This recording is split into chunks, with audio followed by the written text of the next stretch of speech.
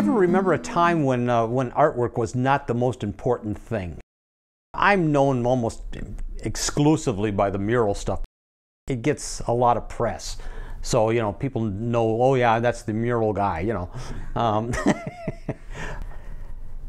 murals, I mean, it's, it's great fun to paint on walls. It, shoot, I mean, even after I've, I've sloshed through maybe 200 murals, God, you know, really a lot. And, and I still, you know, when I see a big naked wall, you know, I still say, God, what can we do with this? You know, you think you know, you think the bloom would be off the rose, you know, but there are there are walls around town that I would do without pay just because I want to do the walls. There's there's sense of um, renewal of life when you step up to a great big naked wall and, and a naked sheet of paper as well. I mean, there is yeah a renewal of life. That's um, the world will be different because what you're doing now. And that's that's really kind of neat. That's um, um, I know people don't think of it that way, but it's true. Of course, we live in a, a visual culture. Every single day of your life, you will probably see a thousand advertisements, and 999 of them go right out of your head. You don't even visually recognize them, which is really kind of too bad because people become not visually attuned they miss things. I mean, not, not advertising, but miss all kinds of things. I have found that people, you know, are, are visually, you know, oblivious to most of the stuff that's going around them. And I think it's because we are inundated with images that mean nothing or are annoying. And advertising is, of course, one of them.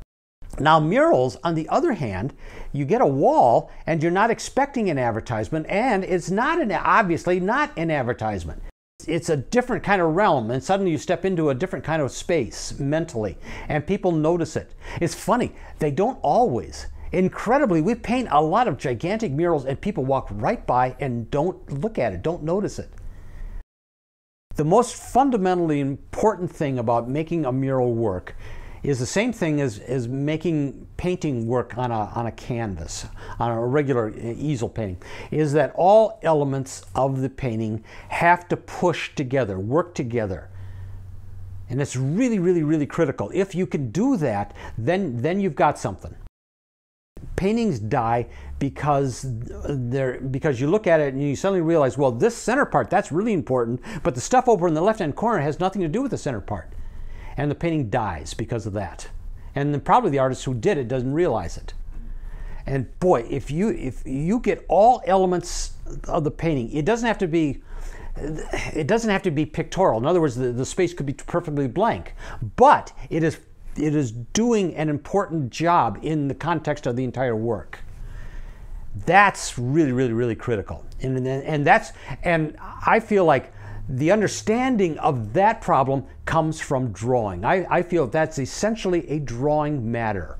And that is very complicated, and you, it, you, and you won't understand it until you've drawn a few thousand drawings. Then you will understand.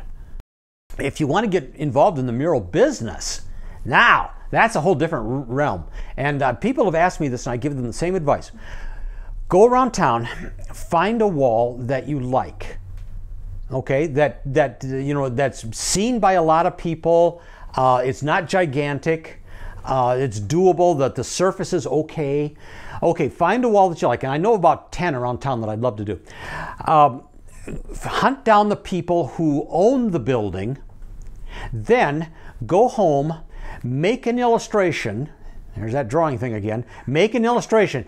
Don't do it in black and white. Do it in full color. Yes, I know it's you're going to suck up a lot of time and you're not going to get paid for it. I realize that. That's okay. You're working toward the future. Just assume the time is spent wisely, and it will be.